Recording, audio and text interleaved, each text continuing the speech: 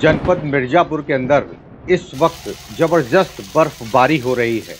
जिस बर्फ़ को देखने के लिए लोग उत्तराखंड का रुख किया करते थे या कश्मीर की चर्चा इन दिनों बराबर हो रही थी, कहीं उससे कम बर्फबारी यहाँ नहीं हो रहा है।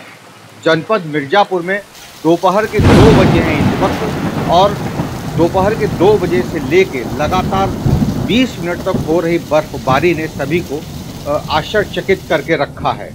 किसानों की बात करें तो किसानों के मुताबिक ये बर्फबारी उनके लिए सीधे सीधे नुकसान का मामला साबित हो सकता है। चाहे वो गेहूँ का हो, चाहे रहर का हो, चाहे चना का हो, कोई भी फ़सल इस वक्त बर्फबारी के दौरान बचेगा नहीं। कितनी क्षति होगी इसका भी आकलन जिला प्रशासन की तरफ़ से लगाए जाने की बात कही जा रही है।